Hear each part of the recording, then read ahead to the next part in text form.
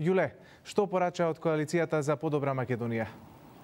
Добар ден, Александар. Така, Коалицијата за подобра Македонија денес имаше состанок во Порта Македонија на која што се разговарало околу предстојните парламентарни избори закажани за 5 јуни. Коалицијските партии, меѓу кои владеачката ВМРО, ДПМН, ГРОМ,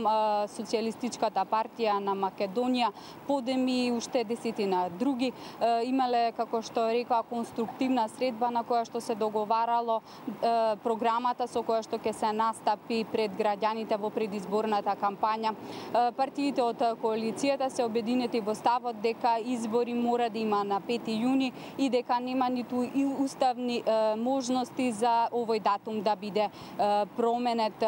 коалицијските партнери исто така ги повикаа сите политички субјекти, поточно особено опозицијата која што најави бойкот, да се вклучи во предизборната трка и да биде дел од изборниот процес на 5 јуни.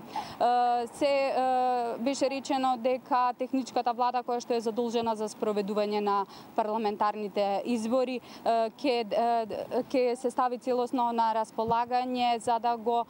помогне и да ги овозможи сите услови да предвремените парламентарни избори на 5 јуни бидат фери демократски. Се повика Државната изборна комисија во рокот што е даден да го прочисти избирачкиот список, да ги преземе сите мерки за да не останат никакви сомневања, сомнежи за некакви нерегуларности кои што би можеле да бидат направени со избирачкиот список и во текот на изборниот процес. Од во име на како извршен како член на извршниот комитет на ВМРО ДПМН зборуваше Никола Поповски. Тој рече дека ВМРО ДПМН е подготвена за избори, дека предолго трае овој овој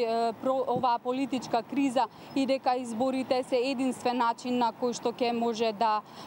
се стави крај граѓаните да го остварат своето демократско право за за тоа да да кажат каква држава сакаат, как кој да биде дел од парламентот и каква влада ќе ја предводи оваа држава во наредниот од период. Исто така говоре и Владанка Авировиќ, Владанка Авировиќ од Социјалистичката партија на Република Македонија и таа исто така рече дека особено стопанството е во една неповолна состојба поради политичката криза. Предлагам овдека да слушнеме прво изјавата од Поповски дадена денеска.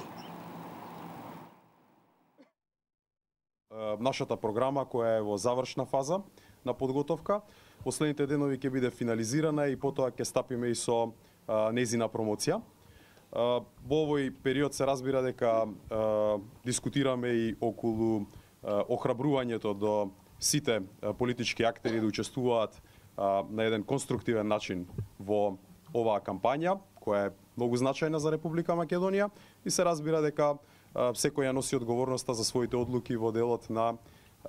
упатувањето на вистинските пораки до гласачите кои конечно имаат одлуката околу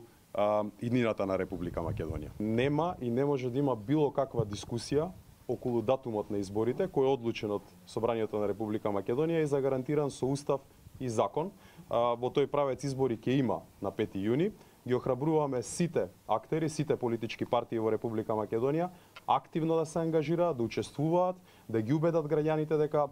нивната опција е најдобрата опција и конечно да ги спроведеме изборите и да се концентрираме на тоа што е најзначајно за граѓаните на Република Македонија во следниот период.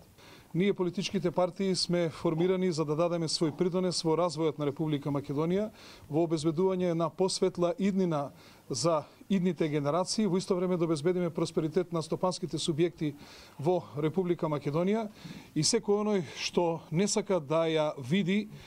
и да ја слушне и да ја почувствува волјата на граѓаните на 5 јуни, значи дека работи спротивно на интересите на кои што тој е формиран и во исто време работи спротивно на интересите на Република Македонија и на незините граѓани. Тоа беше изјавата од Пуповски и преседателот на, на Грома Стевче Јакимовски кој што исто така рече дека се подготвени за избори на 5 јуни и ја повика опозицијата да се соочи со волјата на, на граѓаните и да се појави на изборите. Александар детален извештај околу средбата на коалицијата за подобра Македонија во информативното издание во 18 часот.